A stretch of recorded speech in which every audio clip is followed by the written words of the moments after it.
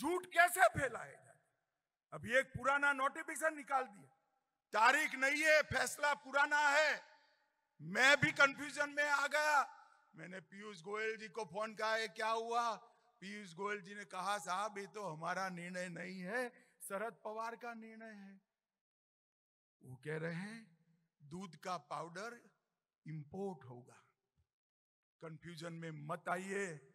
वो सर्कुलर कर कर गए थे दस साल में एक किलो दूध का पाउडर इंपोर्ट नहीं किया है, नरेंद्र मोदी सरकार ने, और अगले पाँच साल तक एक ग्राम भी दूध का पाउडर इंपोर्ट नहीं होगा। आज मैं आपके बीच में ये भ्रांति फैलाकर चुनाव जीतना चाहते हैं। और भ्रष्टाचार की बातें कर रहे हैं।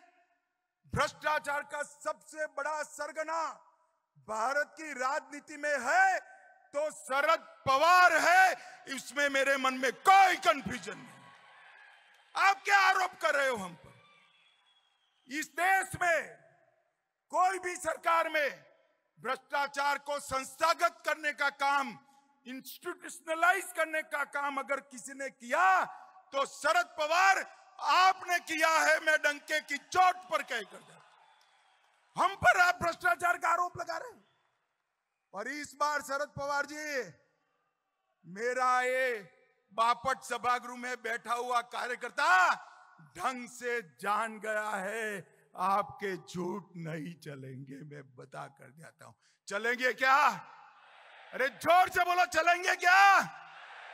चलेंगे क्या? घर घर जाकर इस झूठ का जवाब देना है पर्दा फाश कराना है।